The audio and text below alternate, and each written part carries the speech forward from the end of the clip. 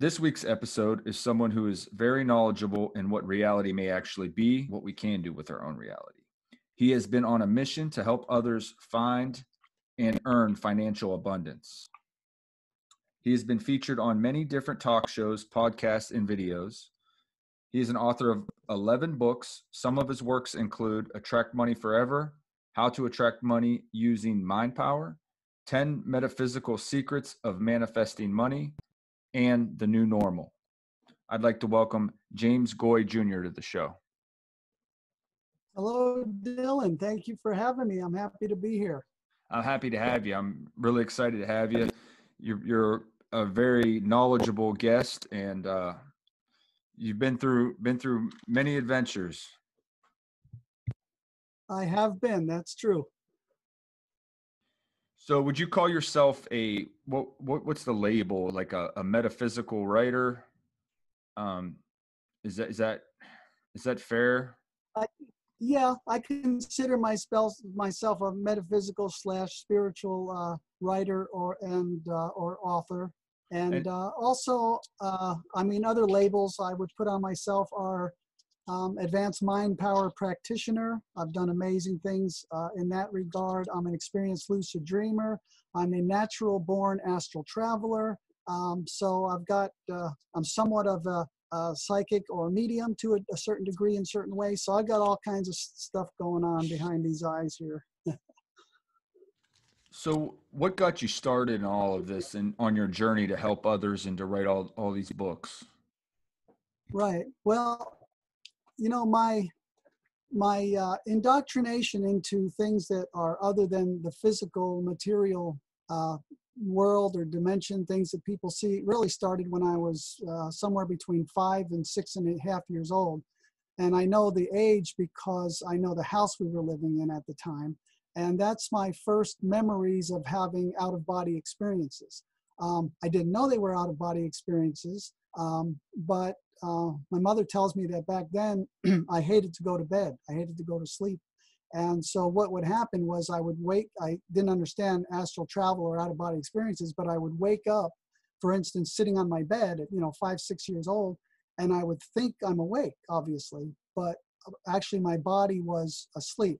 And uh, there was always, it was always dark and there was always a uh, really scary feeling. Uh, but I can give one quick example of something that happened. Um, I had a recurring dream, every so-called dream, every night for about a week or whatever it was. And there was this old, this is back in uh, New Jersey, and there's this old Italian lady who lived across the street from us.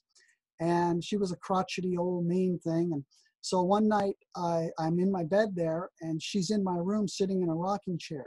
And she's rocking back and forth, back and forth. And her eyes get real crazy, and she starts uh, kind of like uh, at one point she starts howling and wind is blowing in the room and the the roof actually comes right off of my room and the the uh, the um, rocking chair at this point is spinning around like a tornado and then goes up through the roof.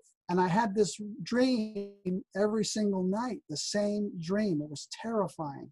Wow. and uh, one morning i go out to the kitchen and my mother says so and so i don't remember her name the old lady from across the street died last night and i never had that dream again uh, and now, right now, I'm getting all of these uh, pin pricks all over me in the back of my head, and even on the sides of my faces, because anytime, everything is energy, everything is consciousness. So by me remembering that experience and telling you right now, I, I, I became aware of her, she became aware of me. So Reality is non-local. There is no distance, and so we just made an. Ener- I made an energy connection with that person um, just now, just by discussing her with you. And you were able to travel to her location. Is what what was going on there? There is no location. If we if we look into quantum physics, it's the it's the uh, theory of non-locality. That there is no distance, there's no time, there's no space, there's no past, there's no present, future. It's all consciousness. And so we are wherever and with whoever our consciousness is. And so I just basically connected with her. She didn't come, I didn't draw her here, I didn't go there. We connected in consciousness.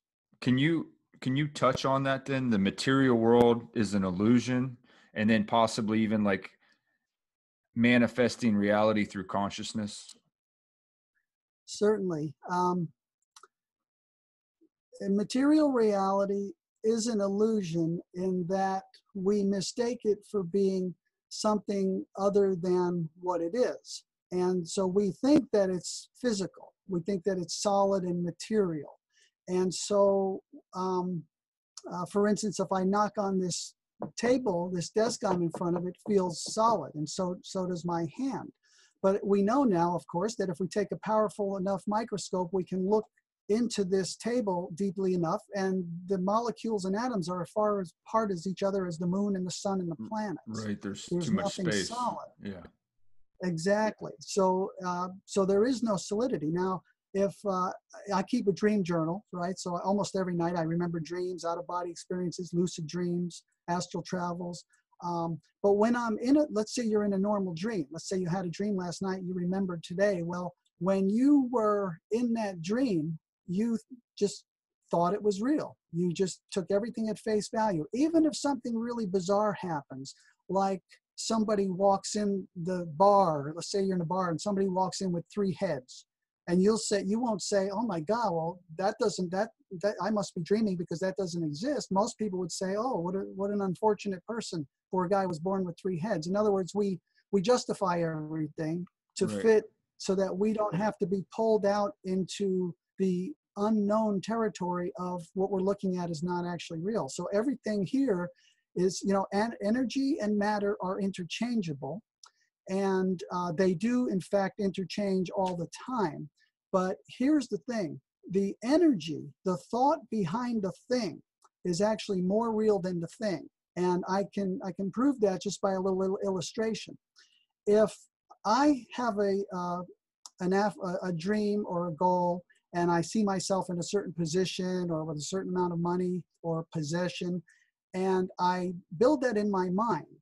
Uh, people say, well, thoughts become things. That's a popular thing, especially from the old turn of the century writings. Well, thoughts don't actually become things, thoughts are things.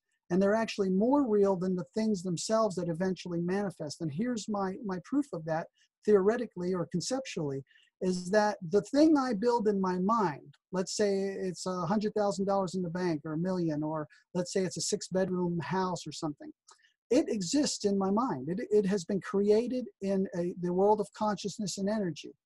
And eventually I can see it here.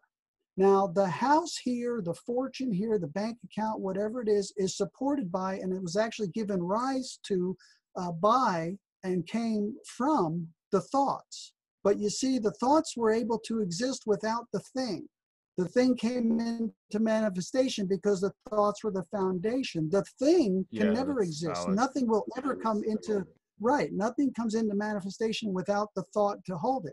And now, if I'm thinking I have a a hundred million dollars and I'm able to build that up, create it, and then maintain it. But as soon as I start to have negative thoughts, in other words, I no longer have the mental foundation to hold that money, it'll start dwindling here because it needs the foundation to hold it. So this world is an illusion. It's not what it seems to be. It's not solid. In, in quantum physics, there's even the, the, the concept that, uh, you know, until you walk into a room, uh, it's basically um, a field of potential. And uh, they, they do that. They figured all of this out with quantum experiments. I'm not a quantum physicist, but you know, they can't, um, they can't accurately uh, tell or measure that both the the position and the you know trajectory or whatever of subatomic particles um, waves uh, uh, particles can act either as waves or as particles which are supposed to be two different things but can be one or the other depending on uh, so it gets pretty thick. But the concept is that and it goes back to the mystics and everything uh, here's the thing the, the observer and the observed are not separate. All there is is consciousness. And so everything that i see um, is a part of me, eh, but it's all based in consciousness. And so basically, we are not discovering uh, through scientific inquiry, we're, we're not discovering reality. We are creating it as we go based on what we're looking for. And that's a very big thought. Most people in the material world are not going to be able to really fathom that right now. But really, um, we are discovering, we are creating instead of discovering everything that is coming about because it's all based in consciousness and indeed is all it all erupts from consciousness is it fair to say that it's a simulation then? Uh, I would think so. And a lot of, uh, you know, people um, who are, uh, you know, computer savvy, computer whizzes and, and the, the uh, code guys and all that, I've heard some of them talk and it's, it, it fits the definition. I mean, it's like the perfect simulation. And I'm not a computer person and I'm not techie, so I can't really uh, give you all the examples like I've heard from them.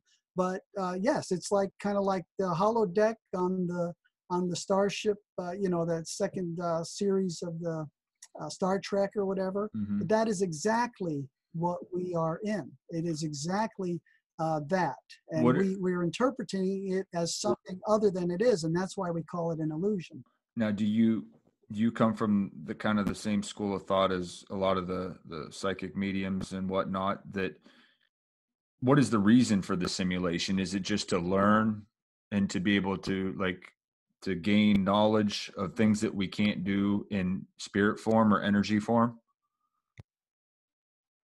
Well, you know, that is a really good question. Um, it's kind of like I have a book called The God Function. And so it's kind of like the question of uh, what is God? Or, first of all, does God exist? And then, second of all, if God does exist, what is God or what is God like? But we, in our human um, uh, bodies, our human minds and consciousness, wh- which is all a projection anyway, it's not actually physical as we've discussed are we really i think it's the height like i write in the book it's the height of human folly and arrogance for a human person thinking strictly with their human mind to think and to be uh, so confident in themselves that they have an answer like what is god? or what is god like? or why am i here? or what's the purpose of all of this? We don't even realize we're dreaming we don't even most psychics and, and mediums and all they don't understand that uh, quantum physics Right. you know they don't they don't understand. And so for them to um, now what they say may be true. I'm not saying it, it it's whatever they want to give it the reason it's true or not true. But i think the ultimate um, goal of consciousness is the consciousness of consciousness in other words, we're unconscious consciousness right now. And the more conscious we become, I think for me, the more I discover that the meaning of life and the purpose of this and the reason for that is pretty much what I say it is. Because I, when I start to recognize myself as not being an individual, as being one tiny molecule in the in the vast um, um, mind of consciousness, when separation starts to fall away, um, then, and, and when we realize that everything that ever happened, not only that it, it didn't have the reason we thought, but that it actually didn't happen. It's like if I wake up this morning and remember a dream last night, I say to myself, well, thank God that didn't really happen. This didn't really happen. Um, it's not happening right now. And so it, it gets deeper and deeper but the more you you look into it the more you, uh, for me i stop asking questions like um, what's the reason what's the purpose what's the this what's the that? Because until i'm open my consciousness full enough to be able to understand that first of all i won't be me anymore and an individual and second of all i won't care. I wouldn't even ask a question because it's it's uh, a pointless question and so i hope that wasn't too convoluted but that's kind of No, uh, you know it, the more I, i've discovered the more that you that you open up over the years. I mean i've been around for more than six decades and i've been having psychic and weird experiences since i'm like five or six years old. Um, the more you just start realizing that things are and stop questioning why they are but start trying to understand more and more how they became th- this way so that i can make them more of what they need to be. Because obviously in my personal life and in the world in large there are there's room for improvement. And i'll hasten to say that i'm not judging things as good or bad right or wrong but i my my big judgment in life is um, and not even positive or negative but is it wanted or unwanted? Is it desirable or undesirable? And i think that part of the reason we are here is to understand that we're making it all and that we can choose to make things more and more desirable and less and less undesirable. And that helps us and everyone else. And anything that helps us helps everyone, and anything that helps anyone else helps us just by the mere fact of those happening. So I think it's safe to say you know you're saying that you know basically the dreams are kind of part of a reality in its in its own. Then then it's safe to say that your opinions on say like a DMT experience or ayahuasca is a similar a similar thing.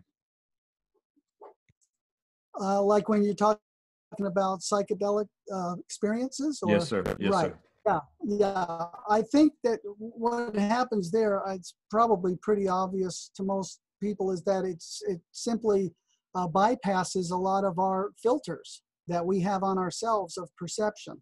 So uh, some people would say, well, you know, like back in the 70s and stuff, you know, you drop some acid and you're going to hallucinate. But are you hallucinating? Or are you able to now see more clearly into realms that before you just weren't tuned into?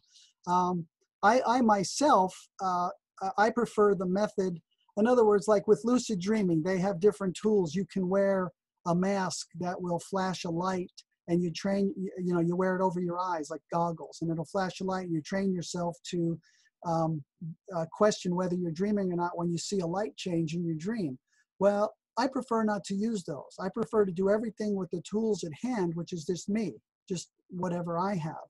And so, and I feel the same way about uh, that. And I'm not saying it's right or wrong. I think it, there's wonderful uh, benefits, especially, I mean, you can, you can, uh, um, you know, treat mental illness and everything else with these uh, different um, substances. For me, I'm, I'm, in, I'm a purist, I like to think. And so I'm totally in, in it for the same experiences, but totally on my own merits. And so maybe it won't mm-hmm. take me, you know, 20 bucks and an hour to get there. Maybe it'll take me 30 years to get there, uh, to the same place or have that same vision or whatever. But I'd rather do it uh, on my own because I think yeah. it's more more permanent. Yeah, and it's more permanently a part of me. Yeah. Mm-hmm. Can you talk a little bit about coincidence and synchronicity versus synchronicity? Right. Well, that's a good question. I never heard it put that way. Co- coincidence versus synchronicity.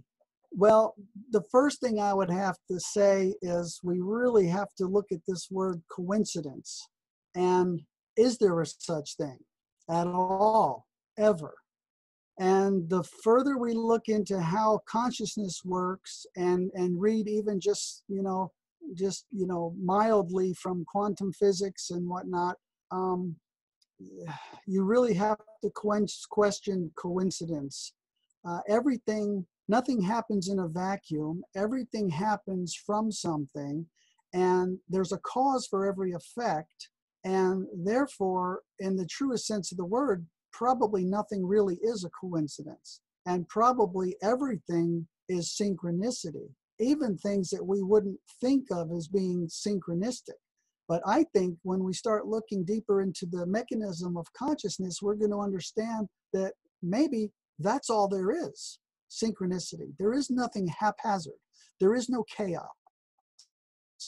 There, there is no un, you know, uninformed, un, illogical, unfocused uh, uh, things happening without a reason. Everything is happening exactly as it's supposed to happen. One of my new books, and that's a very deep concept, but one of my new books, uh, the four that I'm working on now that I haven't published, it will be the next one I publish unless something like the new normal pops up and comes out of nowhere and has to be put out right away. But it's it's on uh, divine order, and that happened with with uh, the new normal. It came out of nowhere from the thought, from the starting to write it. 21 days later, it was actually in print. It was published 21 days later. It was just an unreal experience.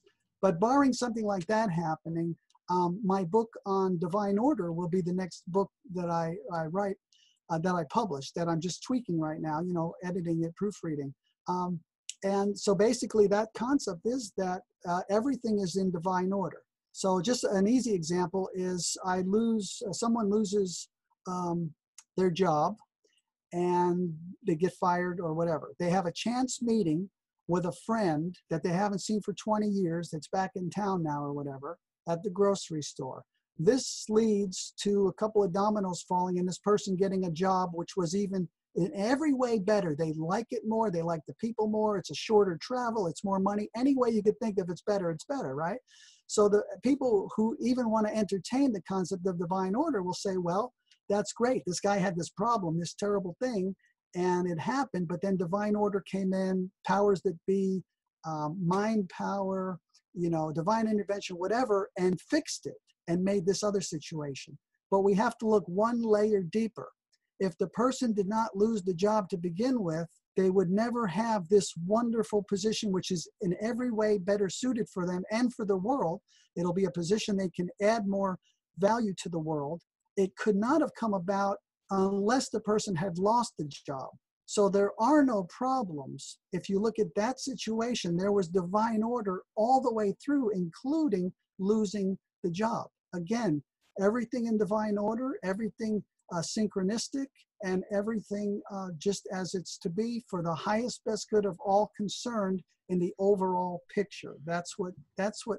One thing we can recognize about consciousness is that it's very intelligent, and it is um, positive as opposed to negative. It's helpful as opposed to harmful. It blesses as opposed to curses. And once we really start to see the wonderful power of that whole mechanism, we can really just sit back and relax. Even what's what's going on right now, whether it's you know uh, violence in the streets or the so-called pandemic or whatever, and we can we can step back from it as human beings and take a new look at it as spiritual beings and saying, okay, well, you know, I may not all understand it all right now, but I'm not going to judge it. I'm not going to fear from it. I'm not going to, you know, run from it. I'm going to understand it. I'm going to allow it to be what it is without, um, uh, you know, fighting back on my part. And I'm going to see what blessings are involved here and what good is going to come of this and yeah, you, there always it there always are if we look for them you know you talk about that the synchronicity with the guy losing his job and finding a better job i think everybody if they really stop and think about it can find synchronicities like that that, that has happened in their life that's that's led right. to something that's been life changing or almost like it was meant to be. Now do you think right. that do you think that takes free will out of the out of the equation? Now that's another uh, really big question free will. I mean that can go in so many different directions. I mean we can we can even question uh, i mean first of all we can start to say we talked before about non-locality that nothing actually is happening or has happened therefore we never really did anything. Therefore what would there have been free will needed for? Um, but so but in my own life i have this really strong sense of destiny like i'm being pulled along and it's a train that i really can't um, control. Yet i recognize on another level that i mean you bring up the free will. And so now i'm going to use my free will to take this pen and to tap my hat tap myself on the head with it now i just apparently exercised free will to do that but some people could argue and say, well, uh, no, that was destiny, that he was going to say this, that you were going to do that. So that's another one of those questions that uh, the further out you want to you want to take a look at it, I, I this this might seem at odds, but I believe as much in free will as I do in in uh, preordination and, and predestination. And I don't think that they need to be um, mutually exclusive. I think they are probably two sides of the same coin. And I think that when we look at it from a, a, a high enough a spiritual vantage point, we will see that, again, it's a question that doesn't even matter because everything is what it is. And as soon as we try to put a label, free will or predestination or whatever, then we're we're breaking down something that's bigger than we're trying to break it into and therefore we won't be under able to understand it because we're not looking at the whole. Again we're looking at tiny little pieces just like modern uh, mainstream medicine does with the human body. Mm-hmm. you know heart specialists brain specialists and and they get everything all messed up um, because they're not taking a holistic view. And so when we do uh, uh, you see that free will is uh, predestination. Left is right, up is down, there is here, and it it it's it, it makes everything so vast that you can barely comprehend it. But at the same time, it brings everything down to a tiny uh, pinpoint where it can be fully comprehended and understood and mastered, and and that's all at the same time. That's the kind that that's why very few people, in my opinion, even some of the you know a lot of the teachers uh, if you really sit down like me and you are doing, and you brought this into a very high level of conversation right away, but if you sit down with some of them, they're not, they're going to like, oh, well, it's this, and oh, I definitely, it's free will, and, and here's why. And, you know, that's a human brain right there that's, yeah. that's, you know, going by past memories, what they've heard, what they've learned, and, and their influence they've had, and, you know, whether their mother was good to them as a child, who knows what it is but that's all it is. And I have to get get out of myself right away and look back down on this pile of flesh sitting in his chair and say, wait a second, is he is he really qualified to even answer that question? You know? And but then I think, oh no, he's definitely not, but maybe I am, whoever this is looking down at him. And then I can start to theorize, you know, forget him because he doesn't know anything. He's got a human brain full of, you know, chemicals from the air and the food and everything else. Let's forget him but there is this higher part of, uh, of each of us that we can we can rise up into. But you're probably already getting a sense that the the more that person starts trying to put things in perspective the more convoluted they become. The more you know if you say is it left or right you find out it's both. And then if you keep querying you find out it's actually neither. And it all seems extremely bizarre but then it also makes perfect sense. And that's so that's the kind of thing that um, you're going to lose a lot of people along the way in a conversation like yeah. that. Good answer. So in your books, you know, you you seem to be able to help people gain a financial increase. What are some of the beliefs or success stories from some of your readers? Right. Well, um, I've I've gotten um, you know letters and emails over the years. Uh, some people like how how to attract money using mind power was my my first book I wrote, and you know I would get um, the ones I love best are when someone says, and I've had more than one of these, that they ordered my book, and then they had this great financial miracle. Someone gave them a car, so now they could go to work, or they got this big huge refund that they weren't expecting, or something. And they always say, "What a coincidence! I didn't even get the book yet." And I like to tell people, no, that wasn't a coincidence. That you were already doing everything in the book, even though you hadn't read the book. You had uh, um, come to understand that you can do things with your mind. You became excited about the prospect. You believed it might be possible. The proof is that you bought the book. You started thinking about the things you might be able to create or that you, and, and so everything that's in the book, you're already doing just based on the fact that you bought the book. Um, but it's been things like that. I like to talk about sometimes my own experiences because I have uh, used mind power, um, especially for money, but for other things in ways far vaster than any of my readers ever have. They have, you know, little, um, uh, they, they have experiences, they do increase their livelihood, but some of them I speak to them years later and it's like, well, you know, I did this and that uh, in the beginning, this and that, but you know, the last three years have really been, you know, hell, heck, you know, uh, uh, does it, does this really work? And I say, well, how many times have you read the book in the last three years? Well, you know, I haven't actually read the book in the last three years. Okay, well, obviously you let your consciousness sink. When you raised it up, it worked, and when you lowered it, it did.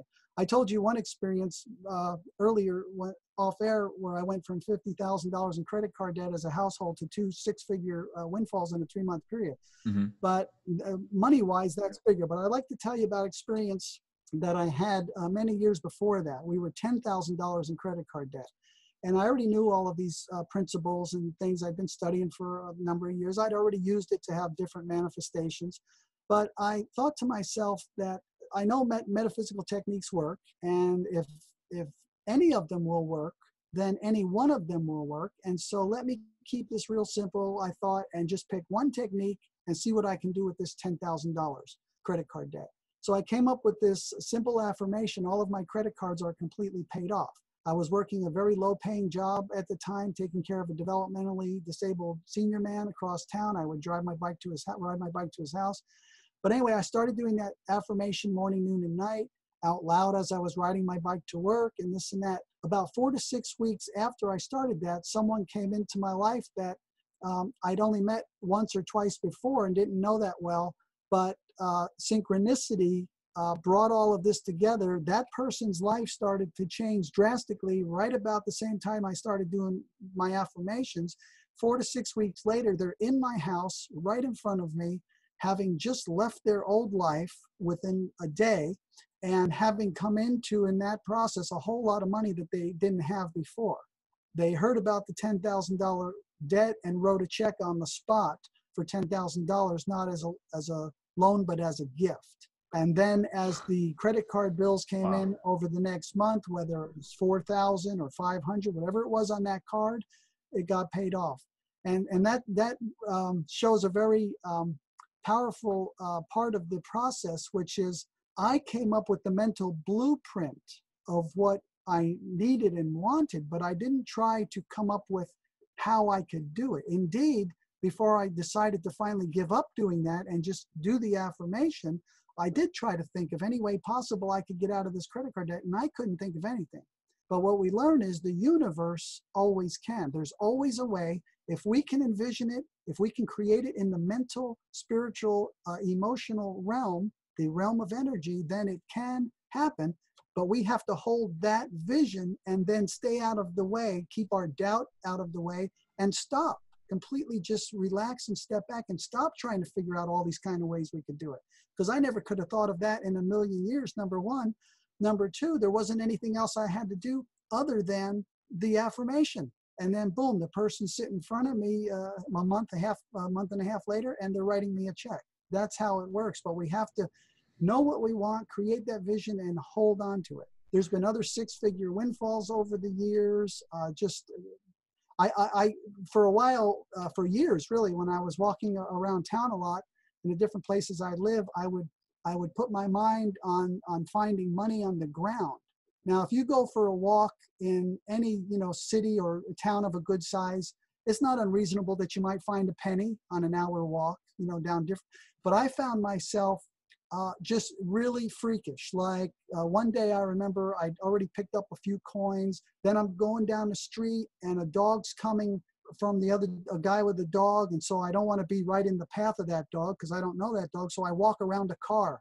On the other side, right outside the driver's door, is a pile of change. Like the guy must have been, or a woman, drunk the night before and they dropped like a quarter or, you know, like four or five coins just right there. And it wouldn't have happened if the dog wasn't coming down the street. And then other times I, have decided, well, I usually have a standard route I take, and I would mm-hmm. take a different route, and I'd find money. I'd find a couple of five dollar bills folded up together, just right on the. In the so I'd come home. It just massively, massively. Like I probably, by the law of averages, I, I should have been hit by lightning three times on that walk, more than finding money in these different places in these different denominations in one hour. It's really freakish. But like the the uh, or, or I'll just decide to cross the street in a place I don't usually cross the street or the, the traffic if I'm crossing a major street to get back to where I was the traffic will clear up right there. I scoot across the street. I remember one time in particular there's a quarter right on the curb right exactly where I had to go because that's where my opening was. That's the kind of freakish stuff that that happens. It's not a lot of money but when you look at what it represents it's it's the process that you know the you can be led and guided to everything. And it's the same with, you know, larger amounts of, of money. That's interesting. Th- those same principles could be applied to other areas of life, right? Like health, um, things like that. I mean, like, uh, like, yeah, health, um, safety. I've had mm-hmm. this. I've I've used mind power to, uh, well, certainly intuition, but also mind power. Intuition has come in to warn me from certain situations. But then if I've overridden that, uh, then I've had to actually had uh, divine intervention where these really freaky things happen to get me out of the situation. So much to the point, uh, one time I started a, a car, uh, me and my life partner, Kathy, we were moving between states and I, I, was kind of naive back then. And I said, uh, oh, look at this map. This is a much straighter line than the interstate. The interstate's way out of the way. Let's take this road. It's straight. Well, we ended up in the middle of the desert in the middle of the night, hadn't seen any cars in either direction for a really long time. And our car dies, 1978 Chrysler Cordoba, uh, electric, everything seized up, power steering. And I just got barely got the car over to the side of the road. And uh, we got out. I looked under the hood. I don't know anything about cars. I just determined everything was there, nothing was smoking but I started to feel something, and Kathy's very psychic as well. She's a natural born medium, as a matter of fact. But um, so I closed the, the trunk of the car, the hood of the car, and um, I looked at Kathy and I said, Do you feel that? And what I was feeling was something very, very dangerous coming towards us very quickly. Like if we were where we were, like five or 10 minutes from now, we were in big trouble. And she didn't say a word. She just nodded her head up and down that she felt it also. And I said to her, I said, uh, We are getting in that car and I am turning that key and we are driving out of here right now. Again, she didn't say anything. She nodded her head. We got in the car, I turned the key, and we drove off. And people think, well, that was a coincidence or you got lucky. Um, but what I what I know is that uh, from just a lifetime of experience is that my mind is more powerful than a pile of steel and glass and wires and rubber. This is that's only energy, that's consciousness. My mind is more cohesive, more directed, and more powerful than that pile of so-called material um, substances. Mm-hmm. That's number one. Number two, I absolutely had no option. First of all, I had absolutely no doubt I was never more sure of anything in my entire life, seriously, that that car was going to start. And the reason was because I had absolutely no choice. That car had to start, it had to. And so, you know, I tell people really attracting money with mind power is easy. I mean, that's not, it's not even real. It's just numbers on a computer screen. It's just pieces of paper that have no intrinsic value. It's floating around everywhere. Everyone has it. And, you know, to, to figure out the, the universe, to figure out a way to channel some of that to you, that's child's play. But when you start making, you know, inanimate objects uh, animate, uh, another time I kept a, person from pulling a gun on me. They lit- their hand was literally shaking in the air as they were trying to reach for the gun and they they couldn't do it. They became paralyzed. Um, and other experiences too, even involving guns. Uh, it's just when you understand that everything is consciousness, including those people, everything is energy, and that there's a force going back and forth. And a lot of it, when it comes to human interaction, is human will. So, for instance, with that person trying to reach for the gun, well, he was at an extreme disadvantage. Uh, all he wanted to do was shoot somebody what I wanted to do was stay alive. So I had a much stronger uh, motivation, number one. Number two, I understand mind power and spiritual energy and divine intervention. I'm pretty sure he didn't, or he wouldn't have been living the kind of life he was living. And um, number three, I absolutely had no choice. I had two right. people with me at the time, women, women, and I and I had to make sure that we all got uh, Kathy and her sister. I had to make sure we got out of there safely. So those are just a few uh, uh, quick little examples. Um, and these are all I've principles that are in your in your written work. Certainly, yeah. Belief, faith, expectancy, uh, think as if, feel as if, speak as if, uh, visualize the end result. It's, and now it's, it's like all, it, it's like anything you got to practice, right? You got to practice. Well, that's the thing. I mean, nobody's going to go out tomorrow probably and make somebody's arm freeze in the air. And by the way, I it wasn't like I was trying to. People think, oh, it's it's like um, uh, mental, you know, mental coercion or mind power over other people. I was not using any mind power over that person. I was using mind power over the circumstance, and there's a difference. If I would have tried to um, make him change his mind or anything like that, then that's more. That's kind of like black magic. Yes, I'm overriding the will of another human being. I didn't have to override his will. I allowed the universe to override the circumstance because my end goal was to not get shot and for the three of us to get out of that vehicle safely at our destination, which we were heading toward an airport. And um, I didn't care how that happened. And I didn't have any ideas. I, I wasn't like, oh, he can't get the gun, or, or when he pulls the trigger, it'll backfire. I, I didn't have any ideas about what needs to happen except for the end result, which is we need to be dropped off at the airport um, safely. And it was really funny because uh, when we got, and there was, there's a whole nother, I mean, that's the short end of the story. He was trying to pull off of a certain exit where we know was the wrong exit. And and he was jerking the wheel and you could see the wheel physically jerking back i mean it was straight out of a you know sci-fi movie or something paranormal movie but when we got to the airport and the three of us got out of the uh, the vehicle um, first of all i tipped the guy $20 which people find uh, you know uh, humorous. Uh, he was sent to make sure that we we didn't get off the out of the place we were. I won't I won't say where we were, but we weren't supposed to leave, and uh, and I was expendable uh, one way or another. The girls had to be brought back. I was expendable if that was necessary. Um, but anyway, I tipped the guy twenty dollars, and as we're walking away, he never said a word. He never said one word through this whole ordeal. And then as we're walking away, I kept looking back at the vehicle and he was just um, he looked like a statue staring straight ahead with his hands clutching the wheel um, like he was in shock like he didn't know what had happened and it was quite a long walk from where we were to where the vehicle was out of sight and he was again just just glued to the steering wheel just looking straight ahead um, that's the power of mind power but i but i'm uh, you know a good person right? And I do a lot of uh, good. Uh, I bless people by my presence, by my example, by whatever I can teach them. And so the universe has a stake in keeping me safe.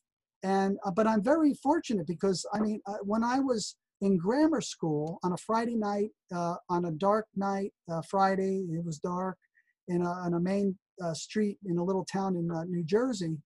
I did something that got this girl that was a couple grades older than me mad at me and she chased me and i ran out in the middle of the street and i got hit by a car now this was in probably the early yeah it was in the mid 60s the car was like out of the 50s i don't know what it was but it had a big great big grill and all that and so this car hit me and i flew up and over the oncoming traffic and landed on the sidewalk like 30, 40 feet away. First of all, I shouldn't have gone in that direction. That's not physics, right? The, the, the vehicle hit me. I should have went, you know, the same way the vehicle was going or under the vehicle. And also with that huge distance, I flew through the air uh, and, and landed on the sidewalk, but I landed, I didn't like crash to the sidewalk. Even from being 20 feet in the air, I landed lightly. I had bruises on my abdomen and my upper legs where the car had hit me and they did take me to the hospital. Um, but it was it was a miracle. My mother, my friend I was with, ran ran the two blocks down to my house, and my mother frantically ran around looking for her car keys. She finally found them. Then she ran out of the house and forgot the car, and she just ran to the site. And by the time she got there, there was a priest leaning over me, and everybody thought I was dead. And I'm like, I'm okay, I'm okay. I had another one. I won't go into all the details, but a motorcycle uh, versus pickup truck where uh, the guy who was riding behind me, a friend of mine, he saw me right right before impact. I felt something grab me on both shoulders of my my uh, leather jacket, regular biker jacket with the zipper pockets and all. I felt uh, something grab me and pull me up, and then my vision went out. And uh, I don't remember what happened, but he said that was the most bizarre thing because you went, you shot straight off of the motorcycle like a rocket and that's not physics. You were doing 40 miles, 45 in, in this direction, and then you hit a, a, my motorcycle was an accordion. It was completely smashed in. The headlight was smashed in, pushed in a couple inches, and nothing was past that. The whole wheel and everything was folded in. But he said you went straight up and you flipped around in the air, and then I couldn't see you because you're on the other side of the of the pickup truck. Well, I didn't have a helmet on, but I landed on the soft end, not the hard end. I landed on my butt and I and I came to and I looked back. Now that's freaky enough that that happened. That's uh, out and out divine intervention. But here's the really strange thing that happened. I went to look at the because I told you I, I was in. I've had a lot of experiences with uh, uh, entities, you know, dead people, demons, and So, um, but I went to look, and I wouldn't come to understand this for many years. But I went to the light to the uh, wrecking yard to look at my motorcycle as kind of a healing thing. This might have been a week or so after the accident, and um, there was something that's very very odd, and I it just made me like go numb mentally, and then I didn't think about it for for years to come. But um, the sides of the gas tank were crushed in crushed. The gas tank was crushed from both sides as if my knees had crushed the gas tank. And I just didn't know what that meant, but I knew that ain't normal. Many years later, I don't know how many, but uh, uh, many years later, um, I had this psychic vision. One day I was I was in a relaxed, you know, calm state, kind of spiritual, just, and I had this vision, and I saw the scene again from above, from about 30 feet above. And so here comes this guy. He was drunk. He was in a pickup truck and he was coming to this part of the road where there's an opening where he he has to wait for the oncoming traffic and then cross over and get onto a freeway ramp. This person was was very drunk. I mean, they were cited, you know, on the scene and all that. But I saw the scene from above, and just before he was slowing down, he was slowing way down at that point. But at the last second, he gunned his truck and it came flying around the corner and fishtailed and smacked, you know, hit I right into my bike with the fishtailing end of the pickup truck. Right before he gunned it, I saw a dark uh, uh, form come out of the ground and go into the truck. If you can imagine that. You ever see um, uh, Like a uh, shadow Ghost person? with Patrick shadow Swayze? Yeah. You ever see Ghost with Patrick Swayze? Yeah. And they had that scene where the, those things are coming right out of the pavement. yeah. It was exactly like that. It was a form, a human form that came out of, you know, that and uh, got into him. That's called obsession and possession. And there's all different levels of it, but got into him and and put his foot down, actually trying to kill me. And then I saw myself. I didn't see any angels or anything, but I saw myself being pulled up and off of that. There's been so many other uh, experiences like that, but um, uh, so I, what, what, what I started to say was that I'm extremely blessed to have had so many experiences of divine intervention, which I really didn't know until later in life that that's what they were. Like, you know, the car, when I got hit by that car and all I have is bruises, yet I flew all this distance and, and all that. And I didn't realize, I realize now that um, there, that I've had that. And so I'm Well, more fortunate than many who don't believe in that because I've been shown that it's true. It's likely that you you had a you still had a path or a lot lot left to do, you know. And Right, right. kind of like and I've also been- earlier. a- yeah, I, I've become aware uh, that there was there has been a lot of opposition to me um, just being here. Uh, and one time I I drove a woman home. I'll shorten the story up to say that uh, in her trailer down in San Ysidro, uh, California, I real uh, her this woman that I drove home started talking in another uh, voice, a very deep male voice. And this voice was trying to convince me this was a demon within her, uh, that she was basically possessed. She was still working a job and whatnot. She had sent her son away to live somewhere else, and uh, but she didn't know she was possessed. But this demon spent hours trying to convince me to come over to the, the dark side. Um, and when you know with the everything that happened, you would think, well, wow. I mean, the first time you hear this man's voice coming out of the, a girl's mouth, you'd be running out of the place. And that's what I would have thought before. Yeah, I'm getting out of there. But no, I stayed there for hours and probably two, three hours or something and having a conversation with this thing. It knew all about me. Uh, back in the early 80s, I did the EST training. Most people haven't heard of it. Uh, Erhard seminar trainings. It was this uh, intensive spiritual thing, two weekends with a Wednesday in between, you know, all day long kind of a thing. Um, and it knew that I had done that, and it knew what my conclusions were that I'd drawn from going through it, and it was turning those around and showing how they really meant something else. Uh, basically, the whole message was that there's no difference between the dark and the light side. So come on over to the dark side because it's a lot more immediate. There's a lot more power that you can have right now and all this. Really freakish. So, um, so I've had uh, uh, things like that just so many things. I mean, I, am going to write about them. Most of my writings are not about my personal experiences.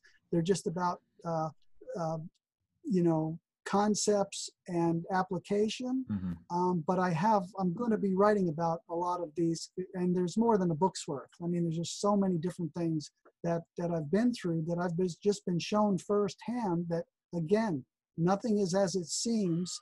And in the end, it's consciousness that's the power, and it can ri- override all laws of nature, inertia, human will. I mean, there's nothing that can stand up to it if it's focused and positive and directed in in uh, such a way as that.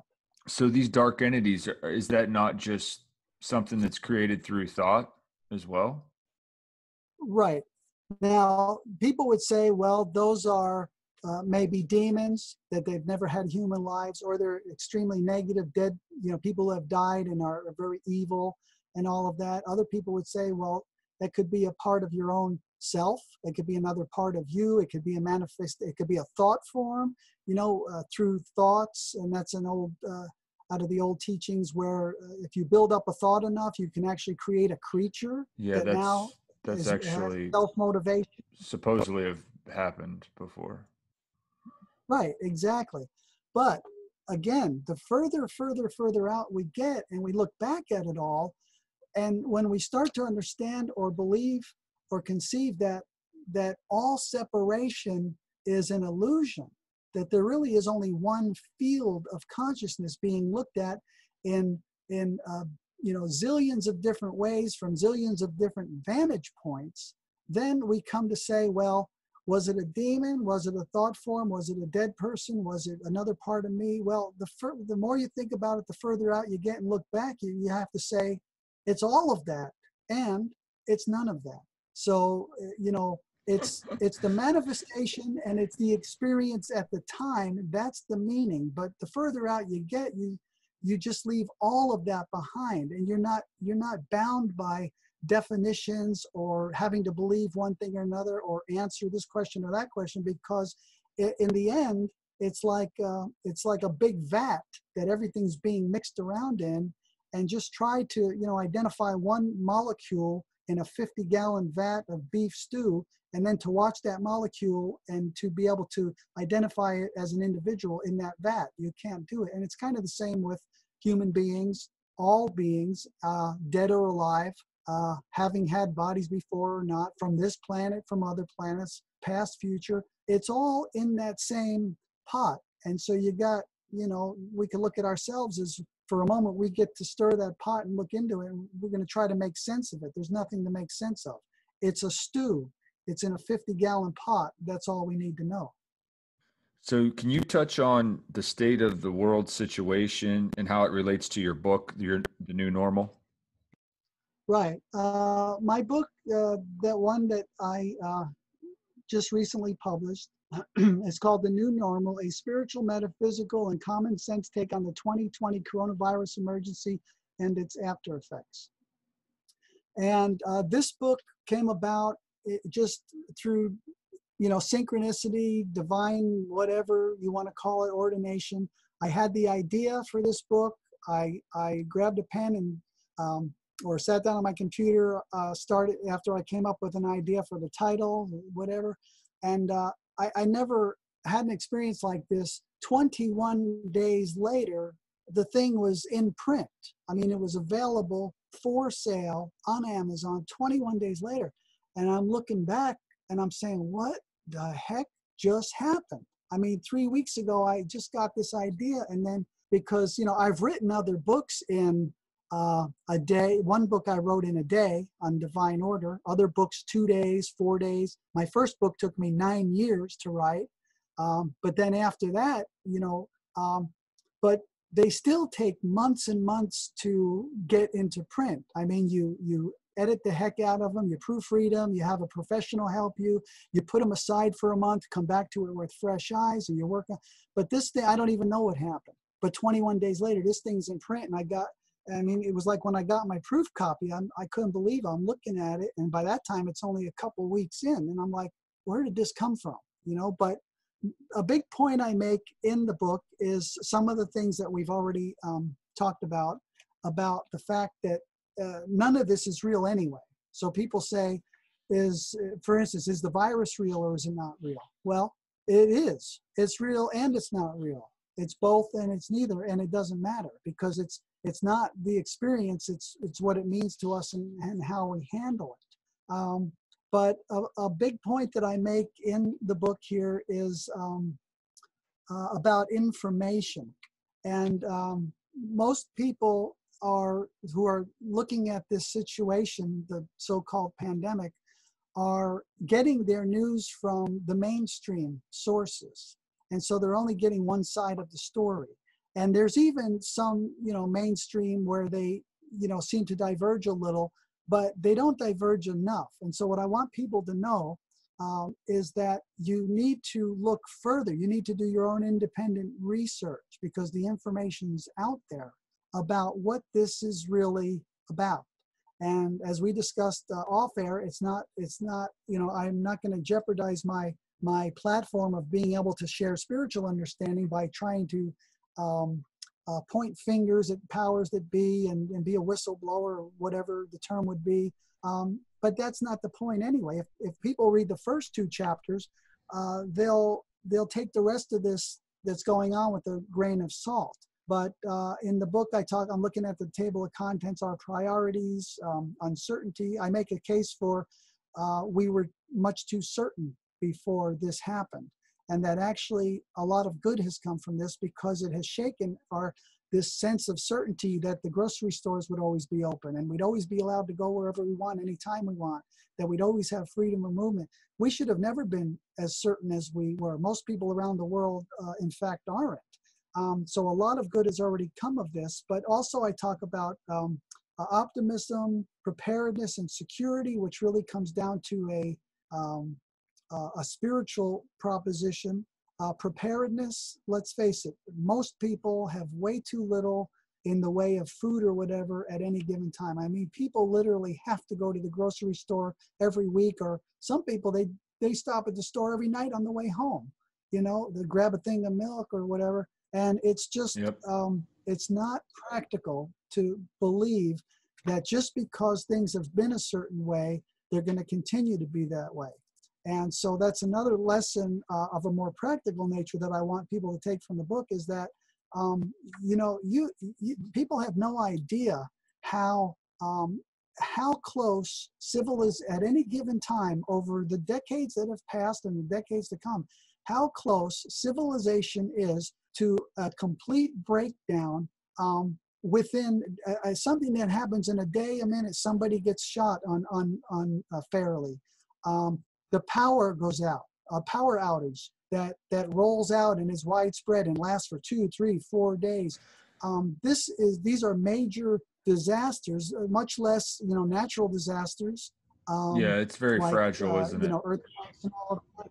It's all very fragile, but especially the social fabric yes uh, of of just how people deal with with each other and people think well yeah i wouldn't want to be in a in a large city because whatever and you need to get out in a small town well guess what i've lived in some small towns and i'm i lived through it to be able to tell people they're more scary sometimes than depending on the small town they can be much more scary than uh, a city where you can ha- at least have a little anonymity and not be so much of a target because there's not a whole lot of fresh meat around for whatever people want to do. It, it gets pretty sick, and I don't get into it.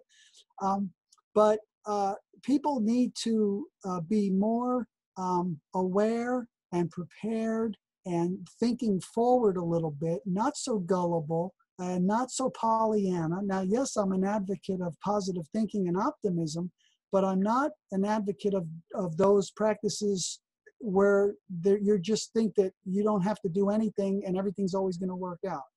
Uh, so that's that's one of the lessons of the book. But really, what it comes down to is that um, it's really a spiritual experience that we're going through. And I, anybody who knows me, they will tell you that I have been calling this, and it's not because I'm so uh, so uh, amazingly intelligent, but it's because I've been seeking out, like on YouTube and different sources, voices that I I believe like these people make sense they have everything to lose by what they're saying, nothing to gain. And so, very right in the very first weeks, like here in California, they took the kids out of school and they said they're going to be back by such and such. It was a date maybe three weeks away. And I told everyone I knew, I said, You mark my words, those kids aren't going back to school anytime near that date. And guess what? Not only that, the people that are telling you they are, or who gave the, the media the message that they are, they already know they're not. Um, so people are just so gullible. I, I, give an example in the book of a, this doctor. People can look it up on the, inter, on the internet, YouTube or whatever. But this cancer doctor, he um, diagnosed 150, 100, see, how much was it? A hundred, I forget how many it was now. I, I probably could find it in here, but it was this astronomical, really, number of um, people. Uh, let me see if I can find it, just because it's uh, it's important. Uh, because it's a it's a uh, all right. Maybe I'll find it, but my point is, he told them they had cancer. Oh, it was 500, 500 plus people. He told them they had cancer. They didn't have cancer. He gave them chemo, radiation, and everything else. Why? To make money, to make extra money. 500 people. That's horrible. And my point in the book was just like that's it's terrible. My point in the book is just like everyone is just being spoon fed whatever from the media about what's going on right now.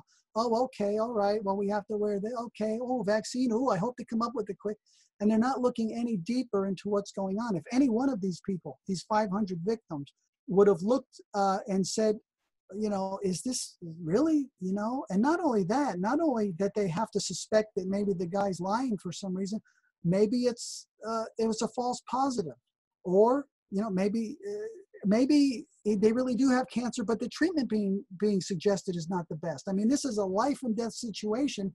You got 500 plus people who just right. completely went along, didn't ask any questions, and had egregious physical harm done to them.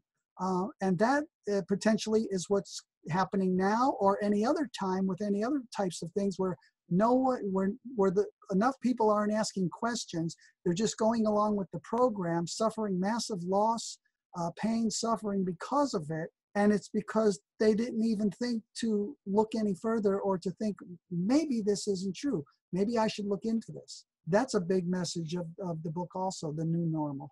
And by the way, uh, now that I think of it, The New Normal and two of my other books, Aware Power Functioning and um, The Supernatural Power of Thought, I have made these free on Amazon as Kindle downloads. That's so beautiful. anyone can read The New Normal yeah and my other two books and i've got three other books very soon i'll be making free and i'm just it's just open ended i'm just going to leave those out there and for however long That's you know wonderful. a long time it's not like you get it right now yeah so i want people especially right now to read the new normal and there's no reason not to do it if they don't have a kindle reader i don't either i have a free um, amazon app on my computer and i can read all the kindle books i want so just go to uh, Amazon, James Goi Jr., The New Normal, and just download it for free right onto Check your computer tonight, or other sure. device, your phone or whatever. Yeah, great. Real quick, I, I know I've kept you for a while, but can you just touch on a little bit more on your astral travel, real quick, and then we can we can let you go. Certainly. Um, well, when when I was five or six, I started getting out of my body. I consider those out of body experiences. I physically got out of my body. As I got older, uh, I started to be able to venture further out. And so I'll give an example of uh, when I lived in Oregon one time. Uh, we're up there for a year and a half the first time. And uh, every night I would find myself back in the old neighborhood in New Jersey where I used to hang out. I used to hang out with the people that were uh, on a side of town where my grandparents lived because I was down there a lot. I got to know those people, and so I actually, you know, uh, hung out down there. So I would find myself every night for a period of time in the old neighborhood, walking around in the dark with no one around, and I would run across my grandfather. And my grand and we would talk, but I can never remember what we talked about. But he was not old and sick and emphysema ridden, you know, like I remember him he was um, young and strong and vibrant like he was in his pictures when he was in his 30s. And um, my my grandmother on my mother's side got hit by a car and uh, by a van. She stepped off the curb in front of a van. She was alive for several days, I guess, but she had massive brain injuries and stuff. And I and one night I went to I found myself in a hospital uh, in the astral realm, um, and I went and found her in a room. I knew that she's down on the left in the room. I knew she was there. Sometimes astral travel, you just you just all of a sudden become aware. Like I'll be on the other side of the house, and then I'll become conscious, and I'm like, oh wow, I'm out of my body, you know. And then sometimes I'll go fly outside or whatever. Other times I I wake up in my sleeping body, and then there's different techniques I use. I can roll rock back and forth or roll or just visualize myself on the other side of the room. So sometimes it's spontaneous, uh, sometimes it's uh, out of the, my body um, where I have to actually get out of it. And then I can go to anywhere. I can go to anywhere on this planet. I can see people I know. Um, and I can actually go to other, um, you want to call them dimensions or whatever. I once went to a, an alternate reality where I was there at night and all of the houses, it looked like a cul-de-sac here, but all of the houses were um, were glass. You could see inside, like nobody had anything to hide. And and that experience, I went from being waking up in my sleeping body, rocking, getting out of the body, and then going outside, then flying up through the air for a really long time, and then getting to this thing where I had to climb over something, uh, and then ending up on this. You know, it was like quite a journey to get there. But then it's this really bizarre place that's just like here, only that one strange difference that I noticed. Uh, so um, yeah, astral travel, lucid dreaming, which is there's no fine line in between the two. But Let me ask you a question you related to that. Sorry, sorry to interrupt. Yeah. Um, you, you mentioned that you had visited your grandfather and he was in his 30s. Now, right. since since time is not linear, um, do, do, you think perhaps that he, when he was in his 30s, he actually seen you and, and talked to you? from his well, point of view from his point uh, of view i actually yeah i mean i never thought of it like that but yeah i mean there's an experience where he's at that age of his life which is what people uh, generally revert back to they say where they felt the best in their life in the prime of their life. But that was an actual experience. Now uh, people would say yeah but he was already dead and he was 30 many years before but then that comes back to the fact well you're you're assuming that time is real and that there is a forward and back and a past and, in which there isn't. So that's that's as valid an experience I had with him, with him 30 and me, me about in the same age in my 30s probably. Um, I was in my 30s, I guess then, maybe even older than he looked. Now that now I realize I wasn't looking at myself, but that's as valid as experience of me remembering, uh, you know, going for a ride with him when I was, you know, eight years old or something. Neither one is more real than the other.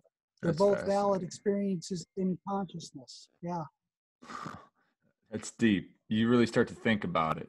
I mean, he could have actually maybe right. even said something to you prior to you having that experience, knowing that he had seen you in his 30s. Right. Ah. Right. And did I go there looking for him every night for that time period? Or was he thinking of me and drew me to him? And even though, again, there was no real distance between Oregon and New Jersey, there's no space, so it right. was just consciousness. Um, but we were back in an environment that we both knew very well, that particular neighborhood. And, um, and my grandfather's a funny case because he never believed in, uh, I was all into, you know, past life stuff and stuff in my early 20s. I was involved in a group. And uh, I asked him one time, I said, you know, Gramps, oh, what do you think happens right when you die? Do you think that you'll, yeah, well, good, good. And I said, what do you think happens when you die? Do you think you'll still be conscious aware? And he said, no. He said, when you die, that's it.